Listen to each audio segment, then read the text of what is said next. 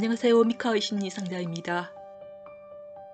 이전에 우리나라 고려시대와 시기가 일정 부분 겹치는 일본 헤이안 시대 여성들에 대한 영상을 올린 적이 있습니다. 헤이안 시대 여성들의 미적 포인트 중 하나는 매우 긴 머리로 머리 중앙에서 가르마를 타 꾸밈이나 장식물 없이 등 뒤로 자연스럽게 흘러내리게 하는 것이었으며 그 당시 여성들의 복식은 귀족이나 상류층의 경우 옷을 12겹 전후로 겹겹이 껴있는 주니토였다고 했습니다. 그렇다면 그 시대 여성들에게도 예외 없이 중요한 관심사였던 연애와 결혼은 어떻게 이루어졌을까요? 헤이안 시대 여성들의 사회적 지위는 적어도 에도 시대보다는 높았습니다. 여자들이 고등교육도 받았고 상속권도 있었습니다. 중유층 여자들의 경우에는 사회 활동도 어느 정도 용인되었습니다. 그 당시 여성들은 글로 자신들의 생각과 감정을 남겼고 때로 글재주가 뛰어난 경우 문학 활동으로 이름을 떨치기도 했는데 대표적 인물 중 하나가 유명한 겐지 이야기를 쓴 무라사키 시키부입니다. 하지만 헤이안 시대는 기본적으로 계급 사회에다 일부 다처제 사회로 남자와 여자의 관계가 엄격하게 통제되어 있어 여성들이 남자들 앞에 얼굴을 함부로 드러낼 수 없었습니다.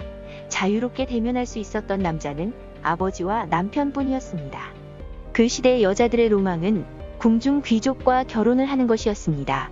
그렇다 보니 높은 집안과 좋은 결혼을 원하는 상류층 여자들일수록 이런 제약을 더 많이 받았습니다. 그녀들이 있는 공간에는 언제나 가리개나 커튼이 쳐져 있었고 불가피한 경우에는 부채로 가렸습니다. 여자들은 대개 칩거하는 생활을 했고 신사나 절에 참배하러 가는 것 외에는 거의 외출하지 않았습니다. 부득이하게 외출하는 경우에는 틈으로 바깥 풍경이 살짝 엿보이는 소마차를 탔습니다. 여자가 나다니는 일이 드문데다 가려진 커튼 뒤에 실루엣으로 존재해 남녀 모두 연애의 시작조차 하기 어려운 구조였습니다. 연애는 고사하고 매력을 느낄 기회조차 주어지지 않았습니다. 그런데 놀랍게도 이 시대에 현대에서도 감히 상상하기 어려운 구애와 결혼의 룰이 존재했습니다. 이성 간의 유혹도 가능했고 비록 글을 통해서라고 해도 연애 감정을 표현할 수 있었으며 결혼이 성립되기 전에 같이 밤을 보낼 기회도 주어졌습니다. 여자들은 자신의 매력을 보여주고 싶을 때 긴 머리와 겹겹이 입은 옷자락 배색을 이용하여 은근히 노출했습니다. 등 뒤로 자연스럽게 흘러내린 길고 풍성한 머리카락과 아름다운 배색으로 늘어진 소매 자락은 아무리 가리려고 해도 가릴 수가 없었습니다. 여자들은 그것을 커튼이나 가리개 아래로 살짝 노출시키거나 마차 밑으로 살짝 엿보이게 할 수 있었습니다. 이것이 남자들을 매료시키는 한 가지 포인트였습니다. 그래서 헤이안 여성들은 머리를 길고 풍성하게 길렀고 그것이 어려울 때에는 가발을 썼습니다. 달리 여자 얼굴을 직접 보지 못하는 남자들은 멀리서 울타리 너머로 엿보기를 하거나 주변 소문에 의존했는데 남자들에게 연애의 시작은 여자에 대한 정보를 모으는 것이었습니다. 여자 쪽 집안이 괜찮고 여자가 가정교육을 잘 받았고 예쁘다는 소문이 나 있으면 남자는 와카라는 짧은 시를 적어 중매인을 통해 여자에게 보냈습니다. 현대로 보면 와카는 일종의 연애 편지에 해당되는 것으로 답이 없으면 거절이었고 거절이라고 해도 답이 오면 긍정의 심호였습니다. 여성들의 소매자락이 마음을 끌었다면 아름다운 글은 그 매력을 사랑으로 바꿀 수 있었습니다. 당연히 당시에는 글을 유려하게 잘 쓰고 글씨체가 좋으면 사랑을 이루기가 더 쉬웠습니다. 그리고 연애 편지가 그렇듯 이것도 때로 대필로 이루어지기도 했습니다. 와카가 여러 번 교환되고 여자의 승낙이 있으면 남자는 밤에 여자의 집으로 가서 밤을 보내고 아침에 동이 트기 전에 떠났습니다. 그리고 남자는 자신의 집으로 돌아가 같이 보낸 시간에 대한 와카를 적어 여자에게 보냈습니다.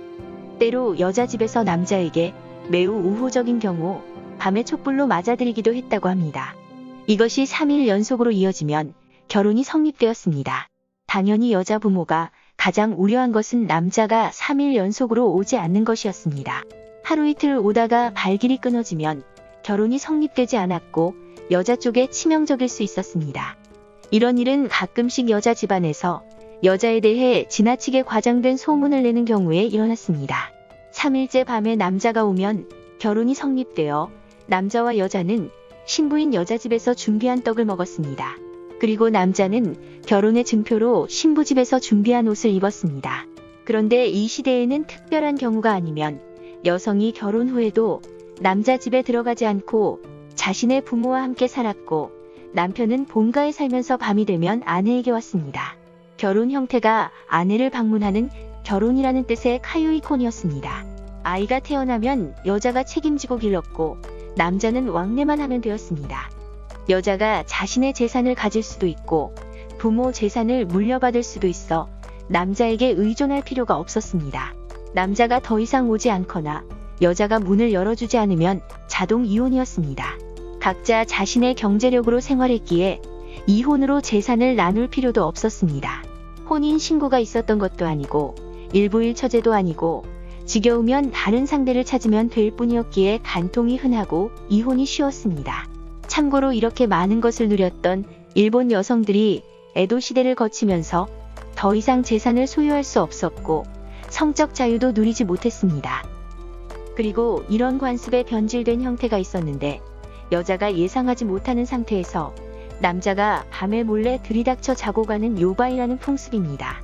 이것은 남자가 이 집 저 집 돌아다니며 여자와 밤을 보낸 뒤에 마음에 드는 여자와 결혼을 하는 것으로 오랜 세월 일본에서 관습이라는 이름으로 존재했지만 당연히 현대적 관점에서 보면 범죄입니다.